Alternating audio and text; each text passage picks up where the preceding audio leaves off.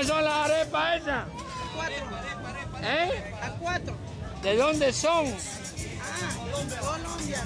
Ah, ¿cuál es la mejor, la de Venezuela o la de Colombia?